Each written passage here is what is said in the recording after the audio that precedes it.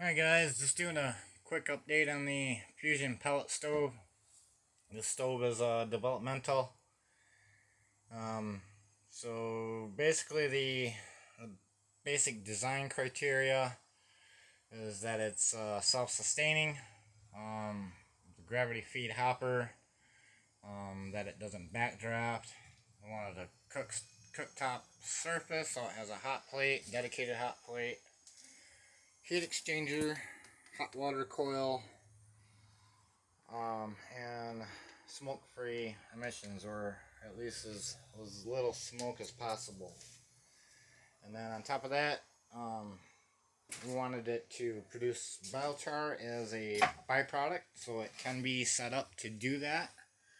Um, but it also does burn uh, the pellets right down to, to ash as well.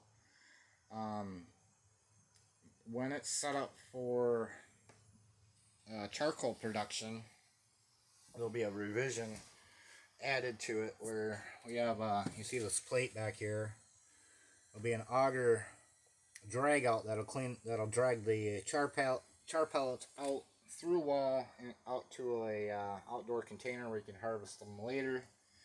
And then this here is a, a grate actuator arm, so it'll be a grate motor um, to actuate that. So that part will require power. Um, so basically uh, what we have here for the reactor is uh, we borrowed uh, some technology from the, the engine grade pellet fuel gasifier systems and modified it to draft from a chimney and that's basically what you see here.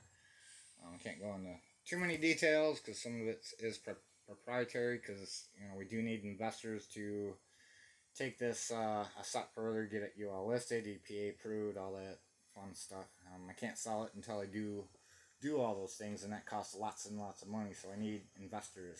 This is there's big patents on this, um, so this could be uh, worth quite a bit actually. Um, so what it has is a three-stage combustion process.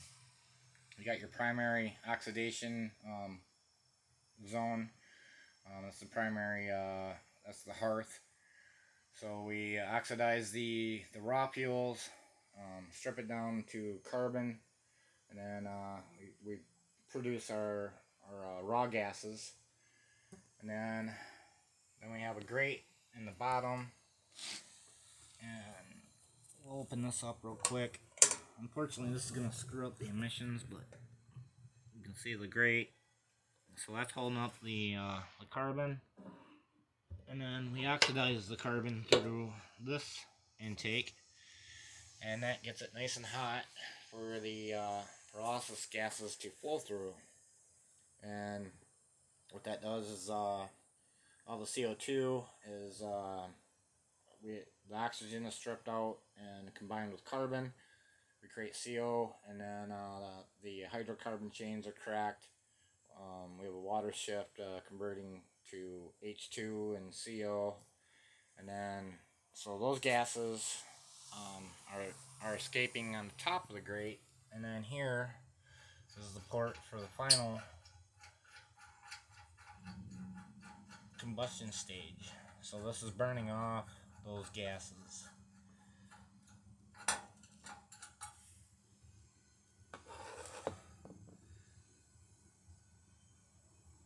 So I don't know if you can hear that. See some, but you can see the, uh, the gases burning off.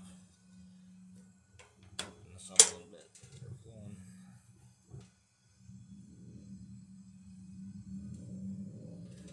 Yeah, I really wanted you to see that. Yeah, it just depends on the cycle. That you know, because this does self-cycle. Um, raw fuel drops down, it burns up, drops to the grate, and then more raw fuel drops drops in its place. So what I'm doing here is replacing that cap. So we'll try to get this done.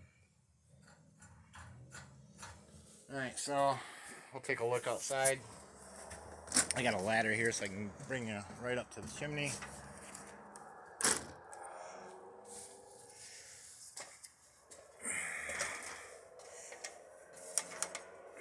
So sorry for the shakiness because I don't like ladders.